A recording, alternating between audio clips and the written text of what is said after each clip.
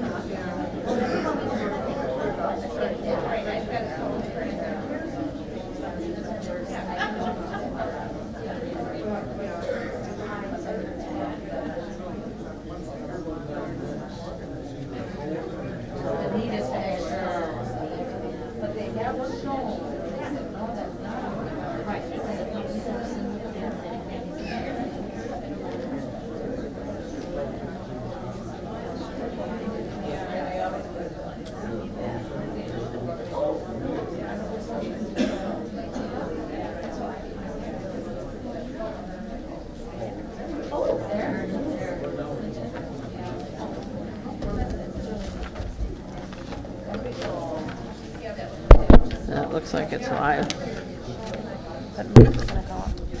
Yes, I'm going to just uh, introduce him. Good evening, everyone, and welcome to our seminar tonight. And thank you all for coming out in our April weather. Uh, It's going to get better, we know that. Spring is on its way, right? I'm Shirley Decker, and I'm the Director of Roots and Branches, and this is Jenny Conley, who is uh, my assistant, and she's going to be introducing our speaker in just one minute. I have just a couple of things I want to say. Um, First of all, I want to introduce any of our board members that are here tonight. We have um, Mike Faulkner, who is our president, and he has an announcement that he wants to make to, to you. And uh, Susan Steinhoffel, who's in the back there, who is the chair of the seminars and brings brings all these wonderful seminars to you. And I think I don't know if there's anyone else. I didn't see anyone else come in that's on our board, but I wanted to introduce them. Mike has a, a quick announcement that he wants to make. So, Mike, let me just wait for him a minute.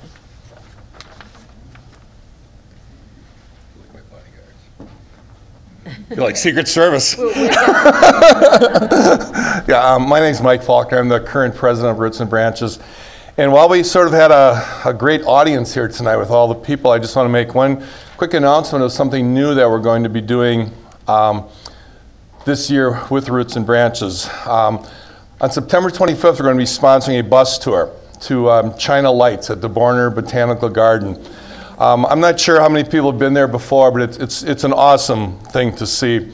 And every year it's different. So even, even if you've been there in the past, you know, it, it's a, a different setup every single year.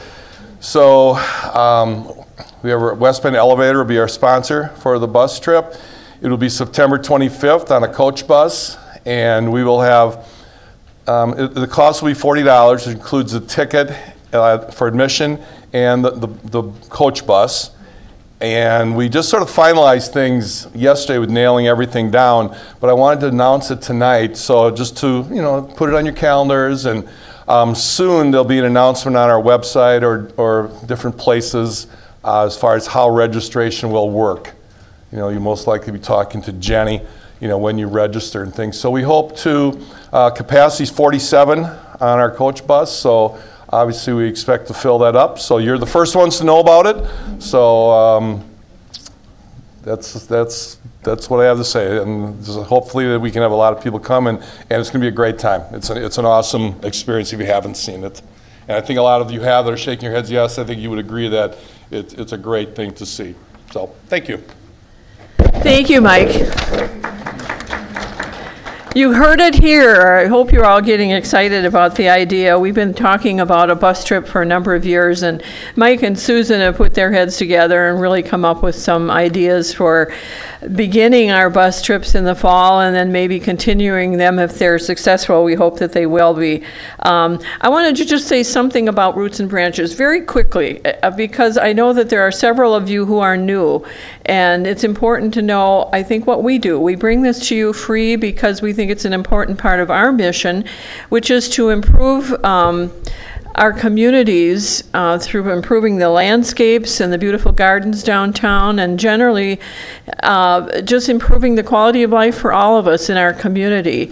And we do this through all of our different events and activities throughout the year. And you got this uh, brochure tonight, and inside the brochure is a calendar of events which shows not only the seminars that will be coming up in June and in the fall, but other activities that we do, like the garden tour and the plant sale and things like that. And there may be other things that you're interested in that we do. And one of the things that I wanted to mention to you, um, Jenny and I are both part time people. And we just are just two little people here that that can't do it all. So what we really need is volunteers, and we have a lot of volunteers, but we never have enough to really go around. So we hope that you might consider participating with us as well as just attending something in the future. So I wanted to just tell um, tell you about us a little bit, so um, you have a little better sense of us. Uh, so thank you for coming tonight on this. Um, rather cold, windy night, and I hope you enjoy this. And I'm going to turn it over to Jenny to introduce our speaker. So I'm sure you don't want to hear me talk some more, so I'll be very brief. Um, the first thing I'm going to do is pass around a clipboard to sign up for our next seminar, which is not until June 13th. It's going to be Make Mine Mediterranean. It's an herbal cruise. It's going to be with Carrie Hennessy of Johnson Nursery. The second clipboard, again, will be uh, suggestions. Let us know what you'd like to hear about for future seminars. It helps our chair determine what type of speakers in we will bring in for 2020. Can you believe it's going to be 2020 already? Um, then I'm just going to introduce Shelley Coulier of Monarchs Unlimited. Uh, she's a member of the Herb Society of Wisconsin, Milwaukee Art Museum Garden Club, and is on the board of the Western Great Lakes Bird and Bat Observatory, an organization that supports the monarch butterfly. And she has a true passion for the monarch. So, welcome, Shelly. Thank you. It's a pleasure to be here tonight talking about my favorite butterfly, the monarch. I First of all, how did I get involved in this? It's an amazing story. I have an acquaintance, a veterinarian in 2011, who told me that she raised monarchs with her sons and tagged them for scientific reasons. I'd never heard of this. I thought it was amazing. I don't like bugs. And I thought, oh, but there is a crisis. This was 2011. And I thought maybe I could help. And so she explained to me how to raise a monarch. And I raised one in 2011. I was absolutely taken with this butterfly in the process. I raised another monarch and I was hooked.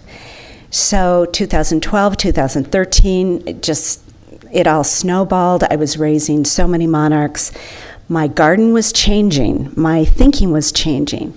And I found out that you could actually go to the sanctuaries in Mexico and see these monarchs. And I investigated, uh, told my husband, I said, you know, we could go to these sanctuaries. It's not easy. It's a flight to Mexico City. Then you get on a bus and you go up in the mountains four hours.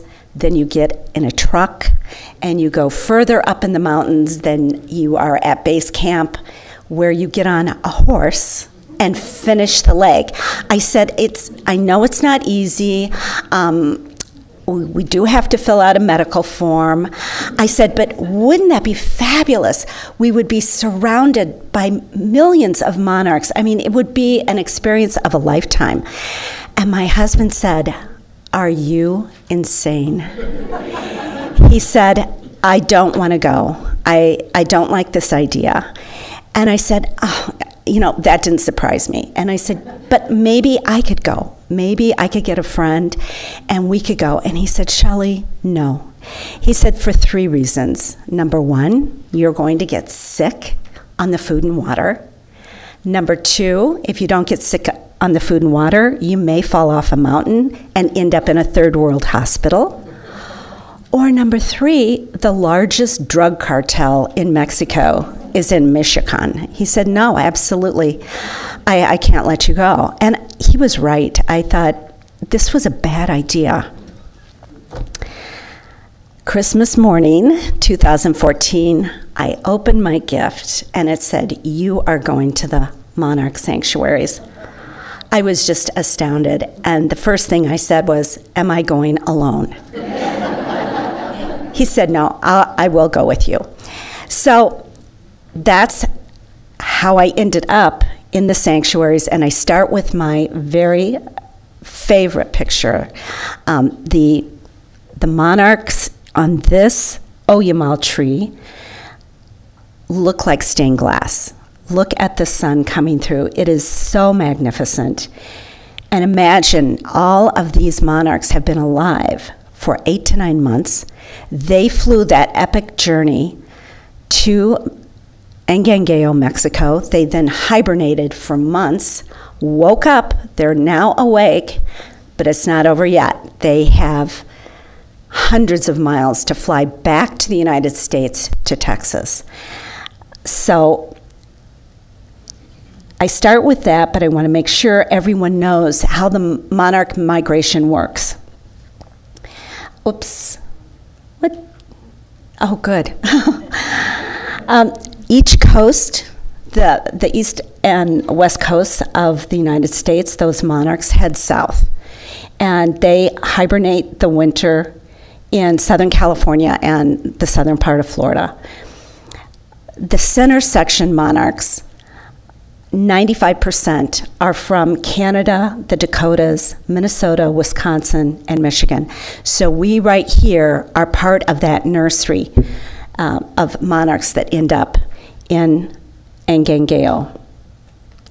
So, as I said, we land in um, Mexico City, and at customs, the walls are covered with these beautiful, charming murals.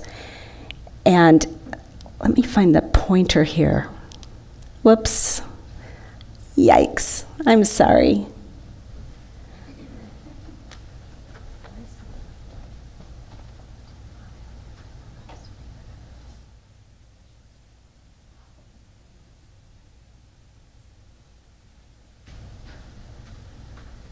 Okay, so the pointer doesn't work. That's okay. Can you see the monarchs? They're all over the picnic table, they're flying in the air. Every single mural had uh, a picture somewhere of a monarch. We checked into our hotel, uh, met our tour group from Natural Habitat. Uh, we had 12 people, two tour guides. Uh, they are affiliated with the World Wildlife Fund. We had the most delicious water, lemon water with chia seeds. It was, I've tried to replicate it. I haven't yet, but I want to tell you the food, the water, absolutely delicious, not Mexican food that we know here in this country. The food was like French country. No one got sick on the food or the water next morning we got on our bus and immediately went straight up in the mountains. There were no ugly billboards. It was just a beautiful drive all the way. The only billboards were for the sanctuaries. Four hours later, we landed in um, Mexico. this restaurant is, can you see all the monarchs on the side of the building? This is the restaurant we had lunch in. And the bar area has a mural of Angangueo, the town center. You see the monarchs. And up on the wall are monarch pictures. There's their license plate. And charming pictures of monarchs uh, by local artists everywhere you went. Uh, this is the city plaza, again, the monarch. I loved their sidewalks. They had monarchs. Isn't that just so charming? Here's a dentist office and his rendition of a monarch, which mirrors the miner's cap. He's giving a salute to their original base economy, which was silver mines. Here's a grocery store logo in Angangueo, and you can see the Aztec influence of that design. Here's Fernando, our lead guide. He's explaining this two block long mural hand painted by an artist about the history of Angangueo. And he's showing the artist here who is painting pictures of monarchs. You can see on his artist bench, you can see the specimens that he's making his drawings from. And what he's saying is that we all have to work together Canada, the United States, and Mexico to save this monarch that is in crisis. Here's our darling little hotel, very humble, very comfortable, and clean. Who's ever stayed in a pink hotel? Wasn't that fabulous with the, the darling monarch? And they had murals everywhere at the hotel. This is one of my favorite. It says Circle of Life, Monarch Butterfly, and you can see to the left the, the caterpillars that are crawling up the trees to spin their chrysalis and then eventually em- emerge from their chrysalis and fly away. And where are they flying to? The blue mountains of Angangueo. So there's the truck. We hop in the truck, and I, I'm in the back. My husband, Fernando, some friends, and then those the young couple in front, born and raised in Iceland, and we all agreed they were the whitest people we had ever seen in our lives. They they were just darling though, and so again we're always going up. And at this point, there's no vehicles, it's all horseback or walking. We've um, managed to get to the base camp, we're unloading. And then there's the sanctuary entrance. It's so charming. Once again, the um, hand painted rendition, in this case, the Circle of Life, showing all the different stages of the monarch. And then how fun. The muralist was there painting his rendition of an abstract painting of a monarch wing. Here's Fernando and Claudia, the second um, tour guide. They are selecting the horses. Now, I don't know if you can see from these pictures, the horses are shorter than our horses in the United States, and they're uh, bred for high altitude. They're strong. But I was worried about my husband. He's a tall guy, big guy, and I said to Fernando, I'm worried about my husband. I, I'm sure I have nothing to worry about. And he said, Yeah, I'm worried too. It's like, oh my gosh. So here is my husband. He's about as long as the horse is wide, at, but nothing happened. Everything went perfectly. Here I am at the top, ready to go into the entrance of the sanctuary. And uh, this is a flower that we have here in Wisconsin. It's a rosinweed. All the flowers that you're going to see here today are all on the list that is printed up for you. But imagine, again, this monarch has been alive for months, has flown thousands of miles, and now is, is headed back to the U.S. They're waking up, but this is the entrance. Some are flying out. It's the first week of March. They're starting to know it's time to leave. Uh, this is a UNESCO World Heritage Site, so it is protected by the world. Armed guards, 24 hours a day, seven days a week. Those armed guards are there for many reasons, but the main reason is poaching of the Oyamel tree because these people have no heat in their homes and they're cutting down the trees. You, you see the serious problem here. So, signs you have to be very quiet. You can't touch a monarch, dead or alive. You can't use a flash. It looks like fall. No, it's spring. Those are monarchs. Here they are waking up. They are roosting on the Oyamel trunk. They get strength from the sun. And there's our little Icelandic girl. She carried this um, on her head for more than an hour. Now, that was okay with the guards because they did, the monarchs would roost on people. Uh, that's okay, you just can't touch them. Again, it looks like fall. No, it's springtime, and they're just waking up.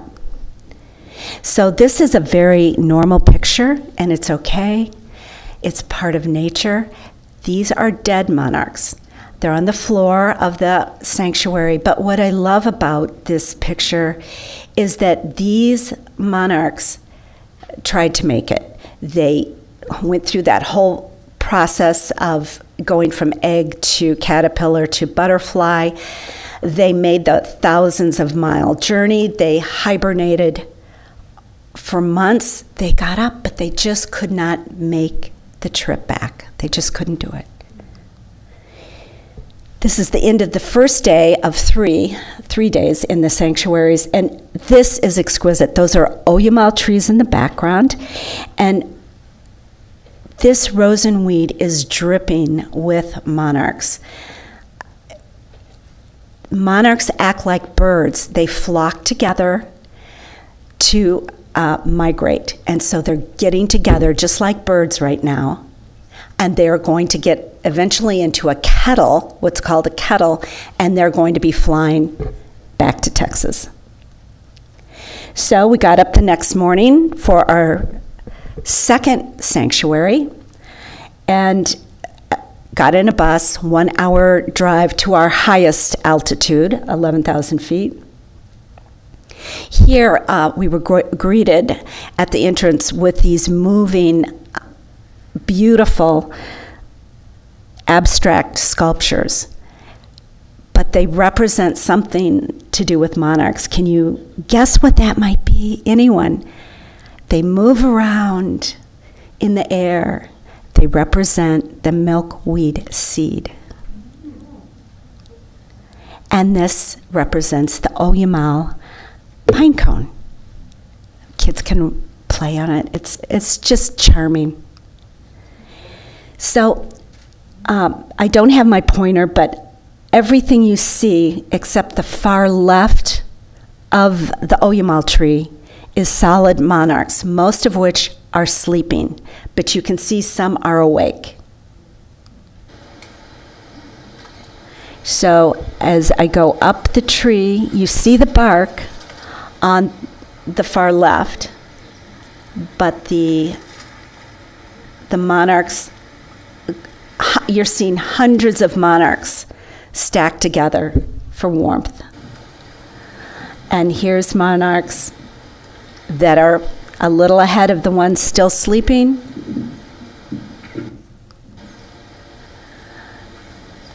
Again, this is um, hard to explain. It, imagine hefty bags filled with monarchs. They're just huge, pendulous, um, amazing appendages that hang from the Oyamel tree. You see, they're a little busier today waking up. We had perfect weather. Uh, the three days we were there, it was 80 degrees to 81, no wind, and no rain. Uh, whoops, sun shining.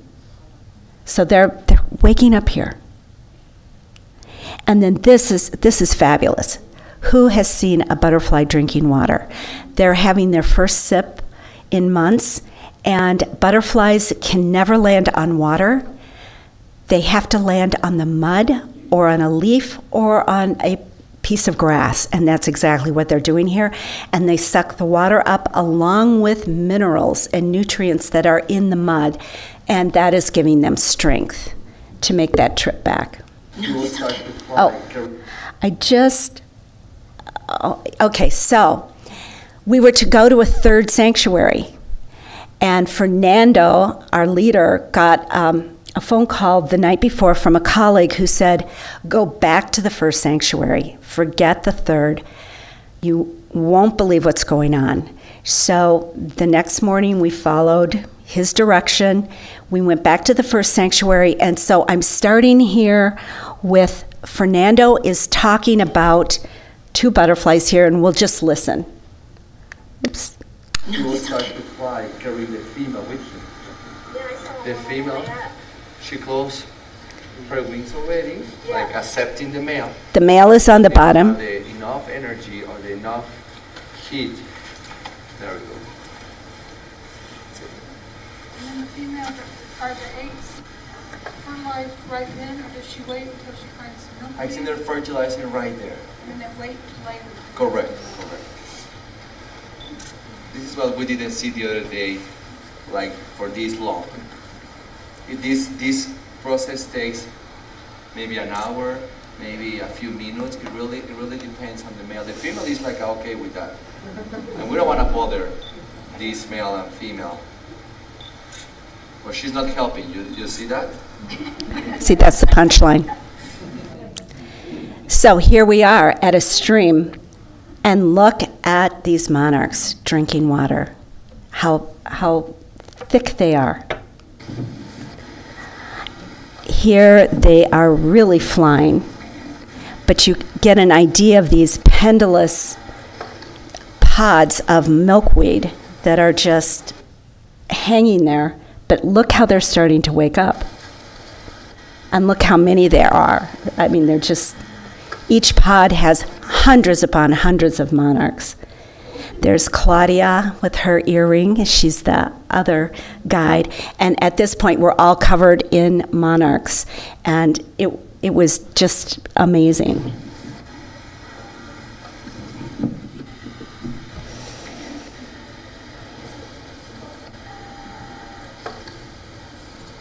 blue, green, and orange. Blue, green, and orange.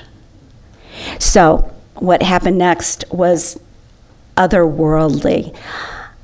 Uh, we were the last group there. We were the last to uh, leave, and we were picking up our gear. And suddenly, imagine this millions and millions and millions of monarchs lift at one exact second and fly like a tornado out right in front of us out the sanctuary. This is called a monarch waterfall. It is a phenomenon that few people ever witness. Fernando had seen it once in his lifetime. Claudia, the other guide, had never seen it. And while it was so shocking and we were unprepared, the shocking part was the noise. What was the noise? It was the butterfly wings. It was so loud. And we heard this roar of butterfly wings. It's just, I, right now I have goosebumps. I still cannot believe that I got to witness this phenomena.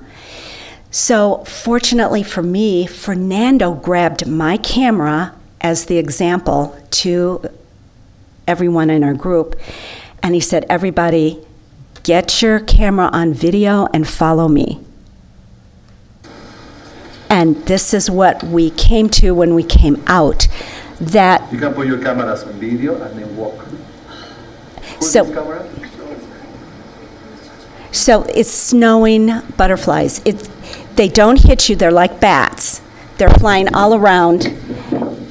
There's my husband and me and our group, and it was breathtaking.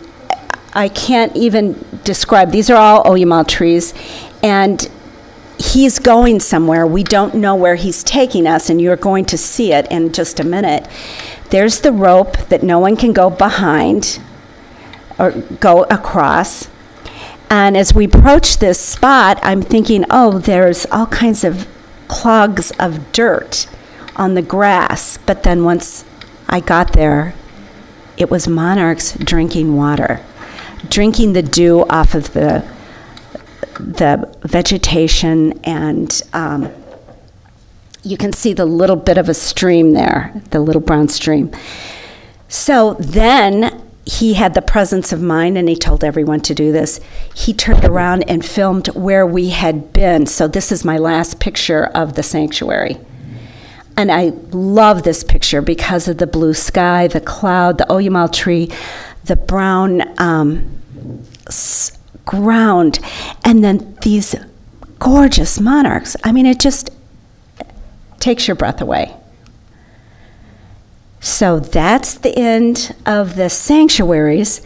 And the next one is the plants. And so since I got involved with monarchs in um, 2011, I have to tell you, I said to my husband, I, I think you know they can only eat milkweed. And I said, So we're going to have to plant milkweed. And he said, I will never have milkweed in my yard. We have two beautiful gardens. He loves this direction that I'm going as much as I do. There's more than 20 uh, uh, species of uh, milkweed in Wisconsin. These are the favorite, easiest to grow for us right now.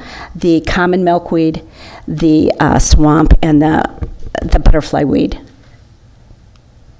And people are so worried about, oh, it's, it's invasive. Um, it's like mint. First of all, milkweed is an herb.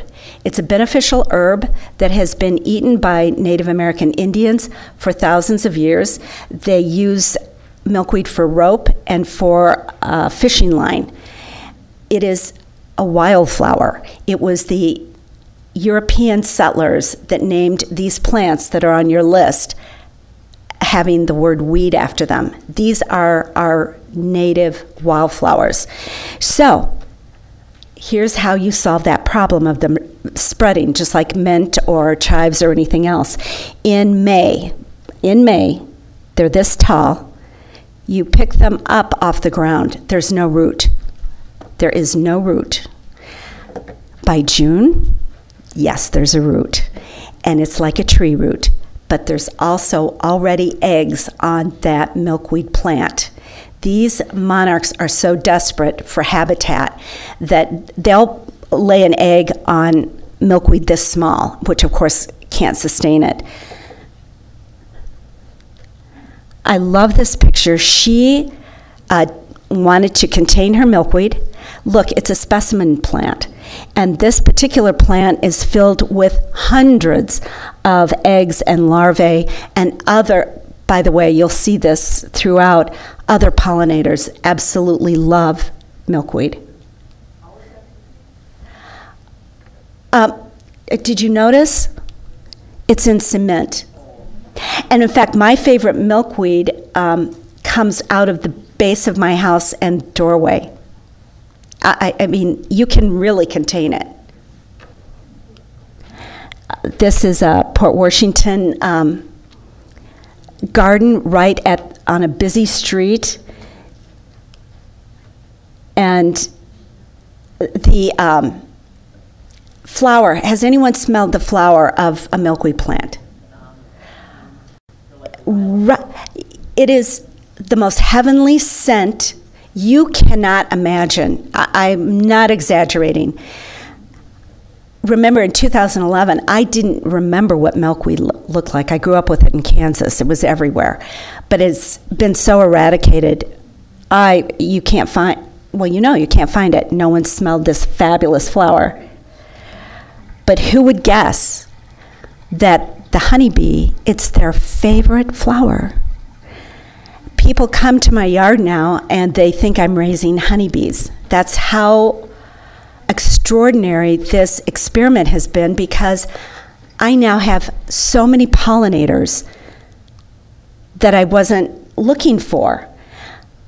Did you know that the Native American ladybug is in crisis? When was the last time you saw this ladybug? They lay their eggs on milkweed. They're just, I've seen two since I started this in 2011, uh, but all sorts of butterflies. A viceroy, these viceroys, I've only had one in all the years, and he's he's licking up the what I call honey that drips from the flowers onto the leaf. Do you see it shiny? It's it's just amazing, this plant. And this is butterfly weed, which I just was introduced to in 2017. It was the perennial of the year. And it's a, it's a fabulous plant. And look, do you see the monarch caterpillar hiding? They think they're hiding.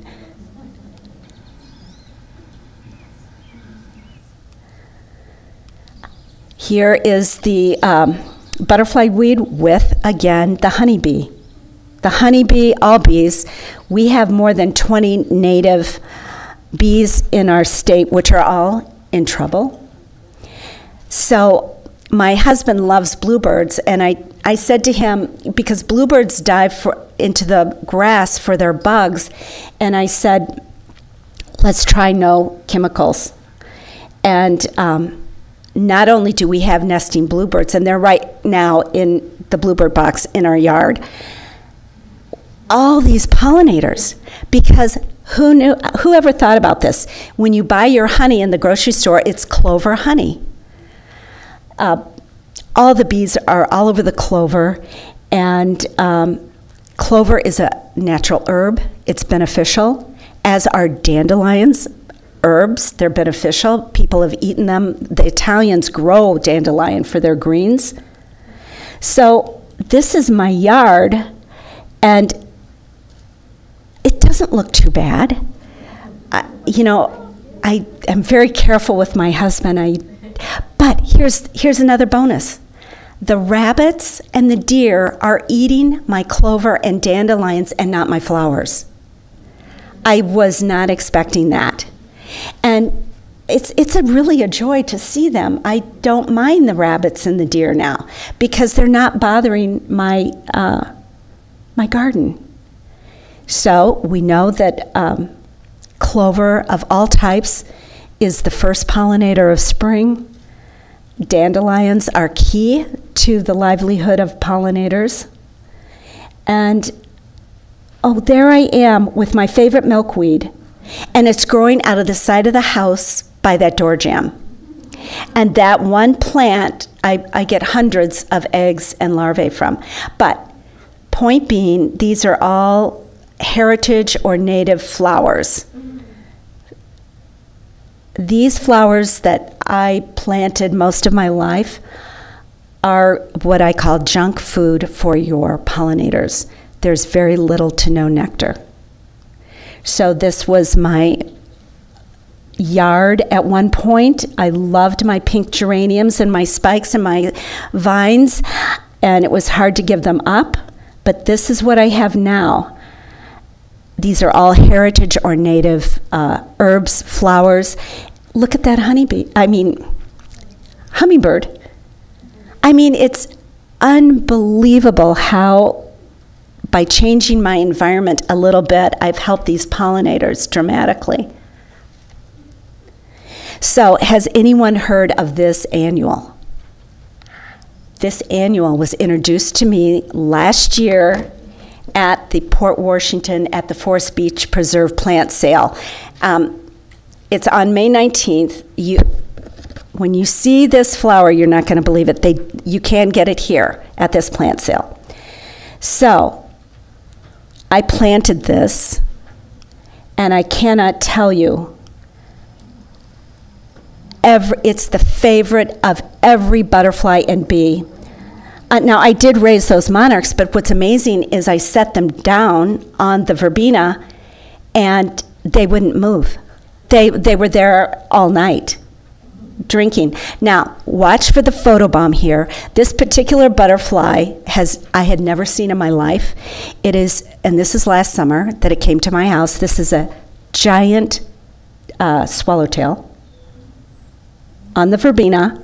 Did you see that monarch? Trying to scare him away. Okay, the same thing again with a yellow swallowtail. Who has ever seen butterflies fighting? Can you believe that? I mean, you will love this that flower. I have this picture because on the far uh, left we have a male monarch. How do we tell a male from the female on the right? The male has those two spots. Do you see the two spots? And then the female doesn't. And do you see the female has a thicker petticoat than the male? And the female has thicker veins, black veins, than the male. So, who knew that milkweed saved the lives of our military in World War II? Every life jacket, every pilot's insulated suit was filled with milkweed floss. And this is a gal who grew up in West Dallas, and she every fall, along with hundreds of thousands of United States children, collected milkweed floss for these life jackets. And you can see on the left, th- this is one school's example of all the milkweed floss they collected. They always brought it to the school. And this is D Day. Every one of those men has on a milkweed floss life preserver. So, could we do that today? If the US government needed to make these life jackets and insulated suits, no. And they didn't forget the military dogs and puppies. These are custom made milkweed floss uh, life vests. So there's a bird that loves the floss of milkweeds, but cannot get it. It is the Baltimore Oriole, but you will not see nests lined with milkweed floss much anymore because it's just not there. So this is a the U.S. Fish and Wildlife Service, if you go on their website, you'll get all kinds of information.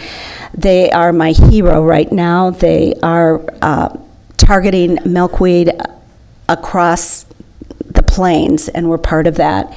But you can see the circle around uh, Wisconsin. That is the nursery. That's the key that they're targeting. And I love this because this is downtown, um, one of the busiest corners in Milwaukee look at the milkweed. Can you see it's all over by the tree? It's actually blooming in the picture on the, the left. The um, oh, Queen Anne's lace is not native, but it's a key flower for so many of our butterflies, including uh, the black swallowtail, which I'm also raising. And that's so fun. Uh, you can raise all kinds of butterflies, not just monarchs. This is an example of a company in Manitowoc. Um, you know how industrial parks are so beautifully coughed and, you know, all the chemicals put down. And I talked this guy into, now he happened to be my husband. I, I talked him into, let's just put the sign up. You don't have to do anything. The wildflowers will grow, the, the milkweed will grow. And he said, oh, the mayor will get mad. Um, I'll get cited. I'll be sued. He agreed. And what I love about this picture is that very first summer, there was milkweed, there was goldenrod. Goldenrod is an herb. It's a beneficial herb. Again, don't I don't advise you to plant it in your yard, but be happy it's in our country because it is the last plant for all the pollinators before they hibernate or or die. But at any rate, it's a native wildflower and a herb. It is not a weed. But look, before and after. Isn't that, isn't that fabulous? Oh, and so the company, all the people wanted to know what is this about? Who knew? I, I put together a presentation. Everybody was thrilled. They're raising monarchs and changing their gardens. This is a darling house I love on um, Main Street in Port Washington no lawn. It's all for the butterflies and pollinators. This is one of my favorite stories. You know, I don't know what happened with my print, but it's not usually like this, how it's doubled over. Anyway, this is my daughter's group home in Port Washington. It is the ugliest yard I've ever seen. And I said to the owners, Could I put in a butterfly garden? They said, Sure. Look at that. That's the day it was planted, um, mid mid June, and you can see I have the sign up immediately with um, milkweed plants. And so the following September, three months later, I was getting, uh, well, it was so gorgeous. It, the big surprise was that in that first week that the milkweed was planted, I already had three eggs. Um, the people in the group home were raising the monarchs, they were thrilled. Uh, what I, I knew that would happen, but I didn't expect the staff. They all had to know what's going on. What are these flowers? I want these in my garden. And so it did so well so that by the 1st of September, I said, I'm having a huge party and I'm inviting all the group homes and all the staff and all the guardians, and we're going to have a celebration. So, this is the night before the big party, and I'm cleaning up the garden. I love the monarch because that's not my monarch. He is migrating. You see the date. That monarch is headed to Mexico, but I love it because he's on this zinnia that I plant from seed, which you'll see a little bit more later. But look what I found that night. So, what do I do? Ooh, do I risk that? I mean, that's candy to robins and cardinals and spiders and ants. I mean, uh, monarchs in the wild, only one in 100 monarchs live to become a butterfly. And that's one of the reasons why it's it's nice for us to help out right now in raising them. So what did I do? I took the risk. He was there the next day for the party. I did take him home directly after the party and I raised him. So so here's a, a young man who lives there. You see the monarch in his hand? And then it's up in the sky. I don't know if you can see right up. I mean, it just, it was such a fabulous party. Of course, you have to have cake.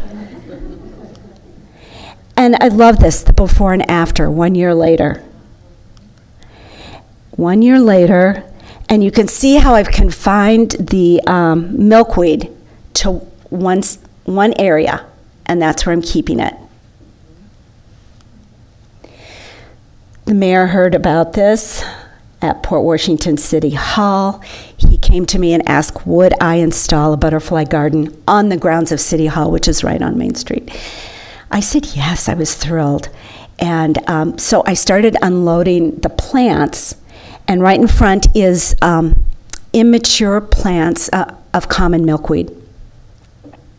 But here's the shock I went to my car to get the next flat. It had only been there 10 seconds. This poor female, she has, of course, no milkweed anywhere. And this is only about a block or two from uh, Lake Michigan, which is a flyway zone. You know, that's their highway. And so right there, I got three three eggs, and in total that summer, I, I um, 27 butterflies released from that city hall. Now, that this particular mayor, he's not there right now, but he um, had taken the monarch pledge. West Bend can also be a monarch city. I showed him where to get the sign. It says Monarch uh, City USA. And this is one year later, right in front of City Hall. And I mean, it's filled with pollinators. And the people, when I'm working in the garden, the people who walk by, they just love to talk and say how much they enjoy it. So, of course, I had to have a party at City Hall. And here I'm showing the kids how to tag. It's so easy to tag and release, so much fun uh, a monarch. This is what the tag looks like. And I love this picture because we all know bee balm is the favorite of bees, but not when the milkweed is in bloom. That's my garden, that's my milkweed, and all the bees are on the milkweed flower. They're not on the bee balm. This is a good example, the same bee balm. If that had happened years ago, I would be running to Stein's to get a chemical to put on my horrible mildew plants. But it's key food for the the bees, all the bees.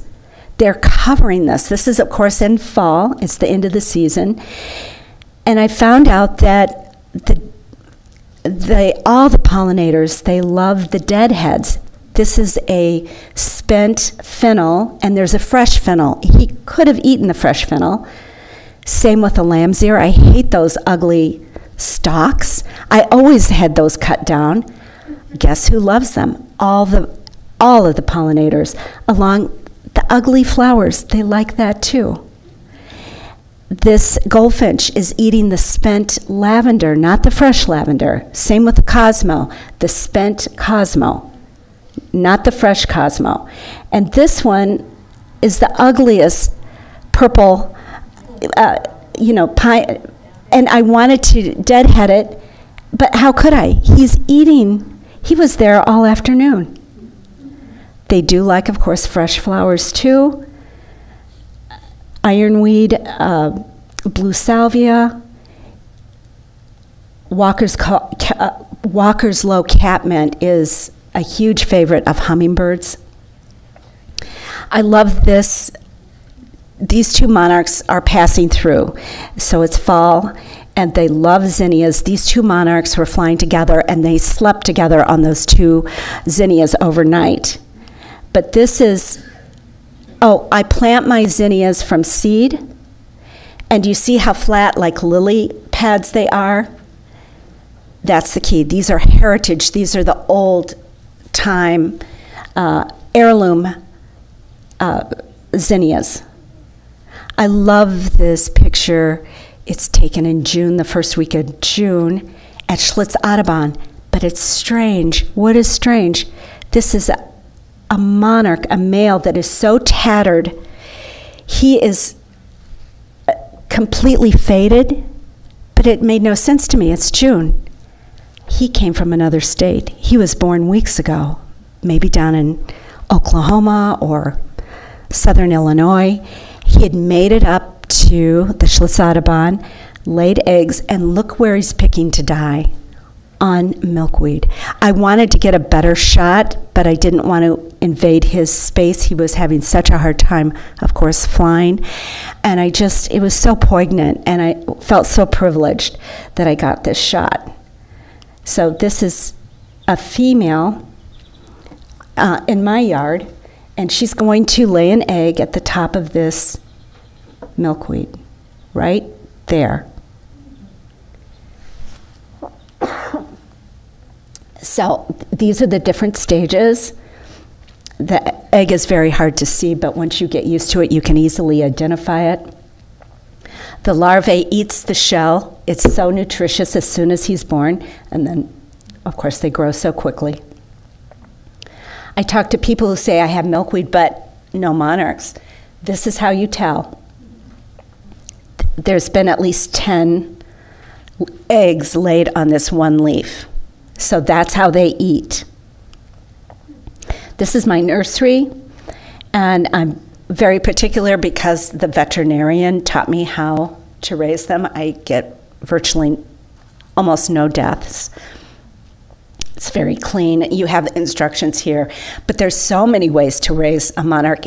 I'm sure people here have raised monarchs. Yeah. So uh, different than me, I'm sure.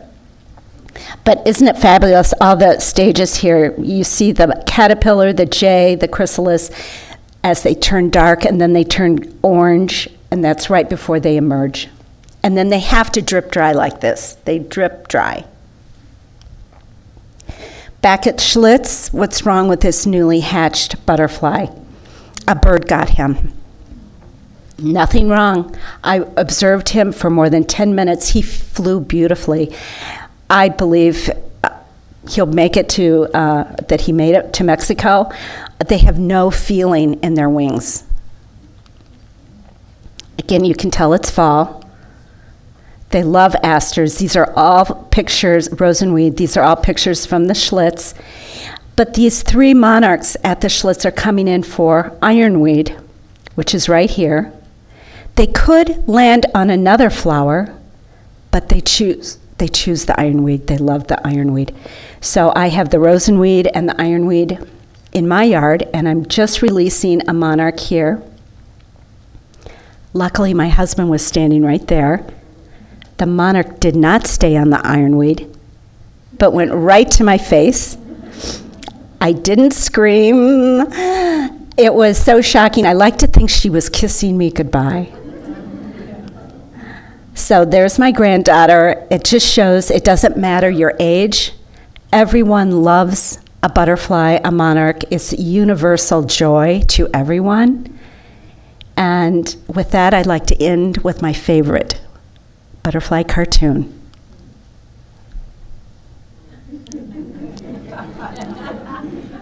So, thank you very much. If there's any questions. Yes. monarchs, like, I've been trying to grow milkweed too. Uh huh. And my count has gone up, but I don't know, you know, do they come back like every day to the same place? Or are they through the area just once and gone? If they can find milkweed, they stay and, and lay all their eggs. Okay. They're, they're in, if, if you have milkweed, they're not going to leave because there isn't any else around, really. Okay. Yeah. So thank you for, for planting it. I went from, the last several years, I've had like forty-nine, and then this last year when I had more zinnias and over two dozen, uh, mu- uh, plants, the milkweed. Yeah. I counted hundred and twenty-two, but I don't, Great. like I said, I don't know if I'm still, you know, it came back the next day and I counted it, you know. Oh, it's wonderful. I love hearing that. But our milkweeds do not look like. No, yours. they're smaller, we live, we live on sand, you know. That's okay. It all works. And, and by the way, I have really short milkweed too. I remember I talked about my favorite one. Yeah. So, mm-hmm. yes. Uh, oh, they, they could never get back to my house because they die in Texas.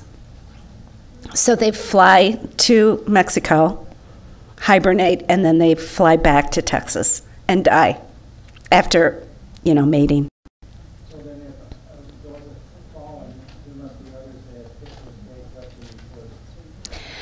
What happens, um, it's, it's a great program, excuse me. the, the children, excuse me, the children in Mexico are paid $2 for every monarch that they find that's tagged. Their school teacher knows to mail it back to Kansas University. That's where the tags come from. I'm sorry, I'm just, it's, I'm talking so much, it's really hard on my, I do, but it, yeah. I'm sorry. Any other questions? I'll stay, yes. We were hiking in September last year along Lake Michigan on a very windy day, and there were dozens and dozens of butterflies, and they were landing, and it was sad to see, like, is that the end of their life, or were they still having to? What month was that? It was September, I have a picture. Well, I'd love to see that picture. Um, they, they were migrating. They were. Um, these, it- oh, this is, this is gorgeous. It's a female. Yep. It's a beautiful, beautiful composition, too. She's on her way to Mexico. And they, Beat it I mean. oh, yeah, they make it. dying. Oh, did you say they were dying? It it looked like they. Had there been a storm? It Oh, see, I like to think that they got there. I don't, I don't think they were. Yes, we don't know. It's, it is a special fir tree, the Oyamel, and it it's, doesn't hurt. You can touch it. It's like ours can really be prickly. We don't know. And more trees are being planted, but they're being cut down. I- It's, it's a tragedy. Yeah. Any other questions? Yes.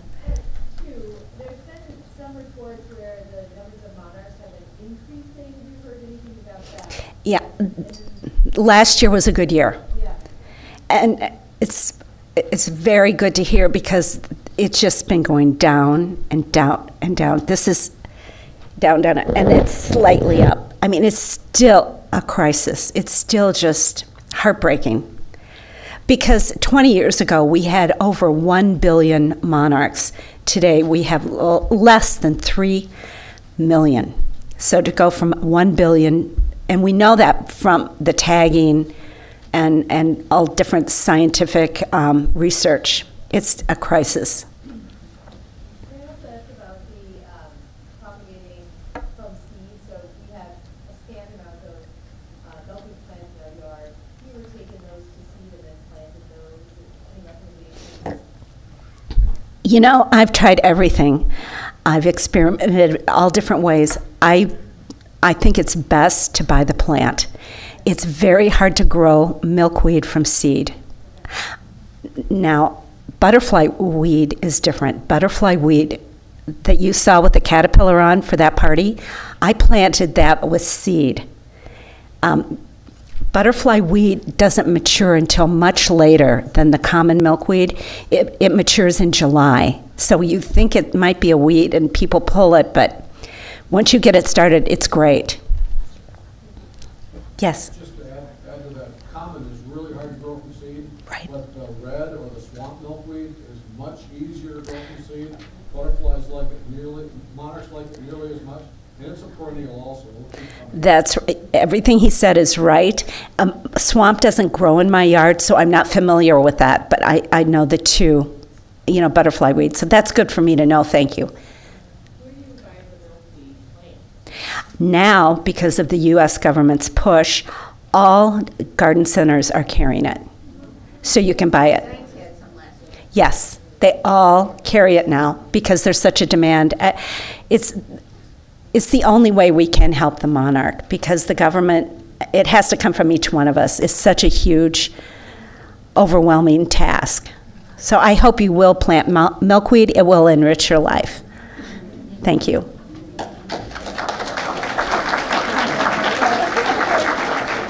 Thank you guys very much for coming, and we look forward to seeing you at our up next one in June. Have a good night.